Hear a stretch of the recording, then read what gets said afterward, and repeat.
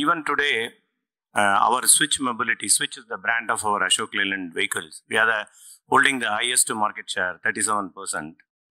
But most of them is being sold by pay by kilometer through an another agency called OHM.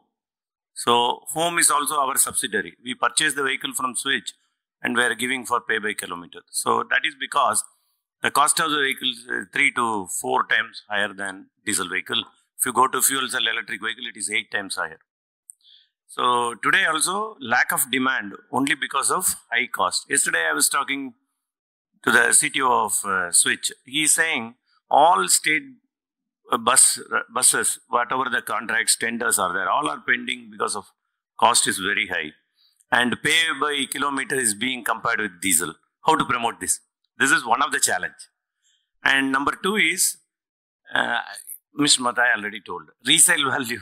that is one of the important one for our commercial vehicle. It is not being evaluated. Means we are not able to do resale value. Third is charging infrastructure. Of course, uh, diversified standard. I won't say it's a big difficulty, but it's a great difficulty because today we are running 12 buses in Gujarat.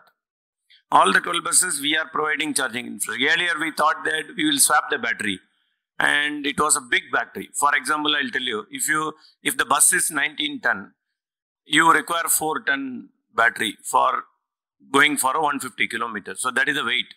So 4 ton, even I will divide 1 ton, 1 ton, 4 batteries. Changing the, swapping the battery is very difficult. I used to use forklift and uh, so, so data, uh, so limited charging infrastructure as of now and uh, no standardization of charging infrastructure. At least in mobile, we got C type now, standard. But yet to be, I think Mr. Mathai will take it up for standardization.